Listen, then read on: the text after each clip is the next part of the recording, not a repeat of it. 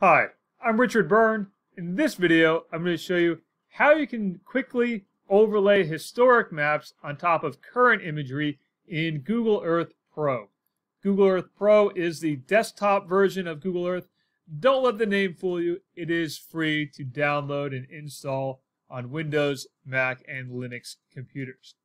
So what I'm going to do here is go to the Rumsey Historical Map Collection which you'll find under the Gallery tab. So if you don't see the gallery expanded, just click on the little tab on the left-hand side and scroll down until you see Rumsey Historical Maps and turn that option on. And when you do so, you'll see these little markers appear on top of the Google Earth imagery.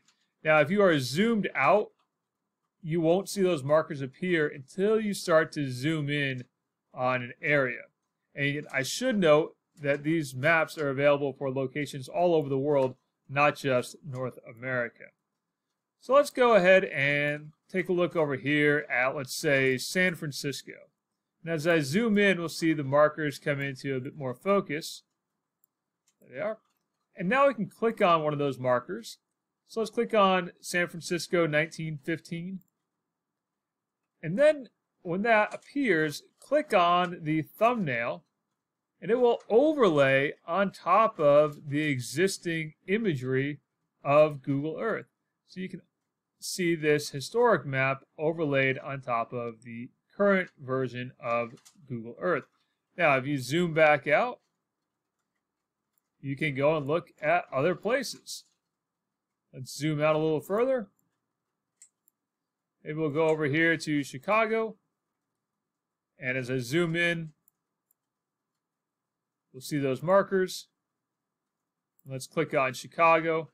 And now, in this case, I'm going to zoom in quite a bit in order to see that map in more detail.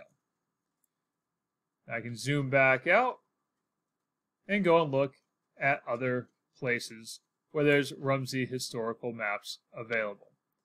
Now, if I want to remove those image overlays from my current view of Google Earth, all I have to do is go up here to my temporary places and unclick them and those overlays are hidden.